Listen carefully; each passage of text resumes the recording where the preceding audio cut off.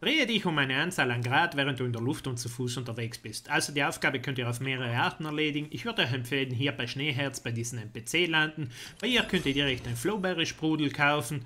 Das wäre hier diese Flasche. Insgesamt müsst ihr euch um 7200 Grad drehen, das wären 20 vollständige Umdrehungen. Nutzt jetzt hier die Seilrutsche, um auf den Berg zu kommen.